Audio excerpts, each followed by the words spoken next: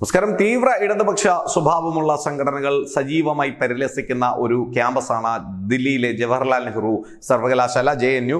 എന്തായാലും തീവ്ര ഇടതുപക്ഷത്തിന് വ്യക്തമായ സ്വാധീനമുള്ള ഒരു സർവകലാശാല കൂടിയാണ് ജെ എൻ യു.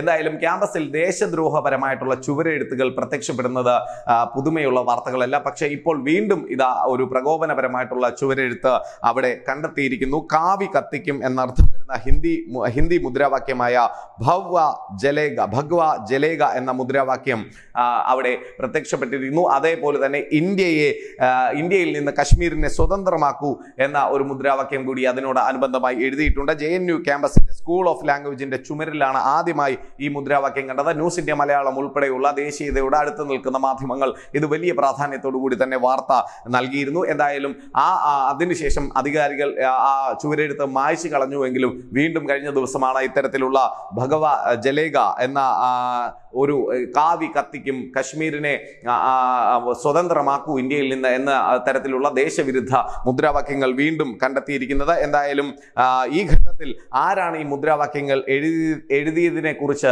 അധികൃതർക്ക് യാതൊരു തരത്തിലുള്ള വ്യക്തതയുമില്ല. ഏതെങ്കിലും വ്യക്തിയോ സംഘടനയോ ആണോ ഈ മുദ്രാവാക്യം എഴുതിയത് എന്നതിന്റെ ഉത്തരവാദിത്വം ഇതുവരെ ഏറ്റെടുത്തിട്ടുമില്ല എന്നതാണ് ഒരു ഇപ്പോഴത്തെ സ്ഥിതി. ഇത് സംബന്ധിച്ച് ജെ അധികൃതർ ഒരു തരത്തിലുള്ള പ്രസ്താവനയും ഇപ്പോഴും നടത്തിയിട്ടില്ല എന്നതും ആ, സംഭവത്തിന്റെ ദുരൂഹതകൾ വർദ്ധിപ്പിക്കുന്നു. എന്തായാലും ക്യാമ്പസിന്റെ മുക്കുലും മൂലയിലും സി സി ടി വി സ്ഥാപിക്കണമെന്ന് എ ബി വി പി ഇപ്പോൾ ആവശ്യം ഉന്നയിച്ചിരിക്കുന്നു എന്നതാണ് ഏറ്റവും പ്രധാനപ്പെട്ട ഒരു കാര്യം. എന്തായാലും രണ്ടായിരത്തി ഇരുപത്തിരണ്ടിൽ ബ്രാഹ്മണ വിരുദ്ധ ചുമരെഴുത്തുകൾ ധാരാളമായി ഈ ക്യാമ്പസിൽ പ്രത്യക്ഷപ്പെട്ടിരുന്നു. ബ്രാഹ്മണർ ക്യാമ്പസ് വിടുന്നു ശാഖകളിലേക്ക് മടങ്ങിപ്പോകൂ തുടങ്ങിയ മുദ്രാവാക്യങ്ങളാണ് ആ കാലത്ത് എഴുതപ്പെട്ടിരുന്നത്.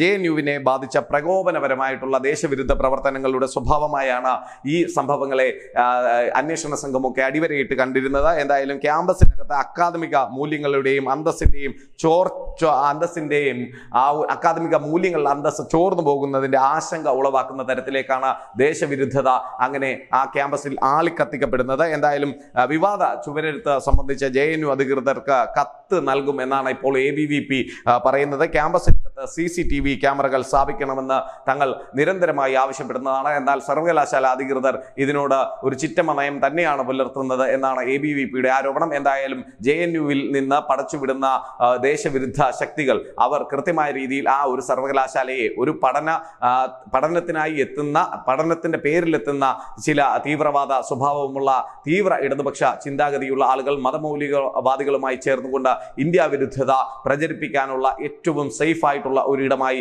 ജവഹർലാൽ നെഹ്റു സർവകലാശാലയെ ഇപ്പോഴും മാറ്റിക്കൊണ്ടിരിക്കുന്നു എന്നതിന്റെ ഏറ്റവും വലിയ ചുവര ഏറ്റവും വലിയ തെളിവുകൾ തന്നെയാണ് ഈ ചുവരെഴുത്തുകൾ എന്ന് തന്നെ നമുക്ക് നിസ്സംശയം പറയാം.